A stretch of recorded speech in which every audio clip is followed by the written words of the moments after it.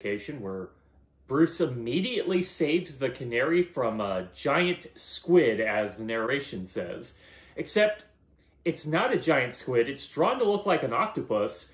The other problem is I've counted the tentacles in each frame, and Batman cuts some of them off, but he doesn't like cut them completely off, he cuts them shorter essentially. This octopus maybe has five, maybe six tentacles per panel.